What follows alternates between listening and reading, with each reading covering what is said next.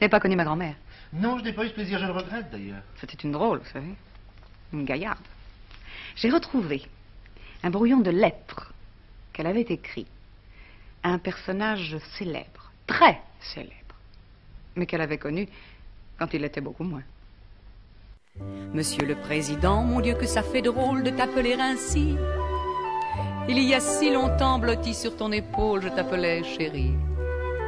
Lorsque dans les journaux j'ai vu ton air funèbre, j'ai repensé soudain au charmant jouvenceau qui n'était pas célèbre, mais qui dansait si bien, si bien, si bien, qu'encore maintenant, malgré ta renommée, et malgré les années, avec plaisir je m'en souviens, souviens.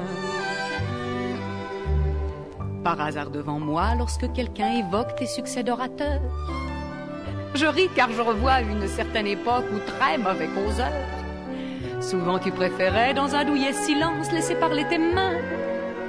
Alors tu ignorais ce qu'était l'éloquence, mais t'embrassais si bien, si bien, si bien,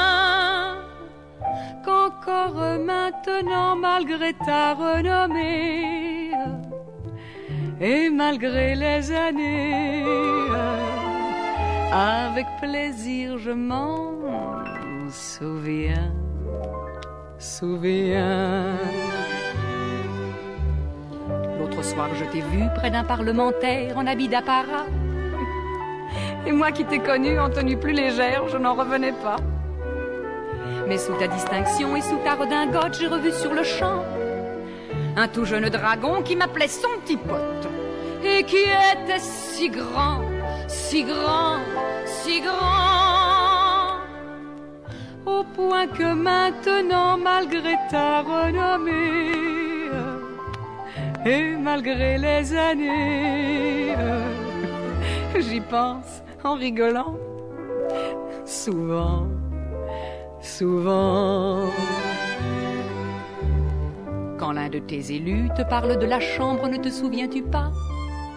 De celle qui connut rue du 4 septembre de plus joyeux débats Avant de te choquer de ces quelques paroles, repense à l'étudiant qui jadis se moquait pas mal du protocole, mais qui m'aimait tellement, tellement, tellement, maintenant, malgré ta renommée, et malgré les années, j'y pense en frissonnant de temps en temps. Tu peux dicter des lois, faire de glorieux voyages et tenir tête aux grands. Tu ne seras pour moi, en dépit des hommages, que mon premier amant. Pardonne si tu peux la trop bonne mémoire et les mots trop précis de celle qui ne se reconnaît qu'une gloire. T'avoir beaucoup chéri, chéri, chéri, au point que quand je dors, je crois parfois t'entendre avec ta voix si tendre me murmurer encore. Di Diui. Diui.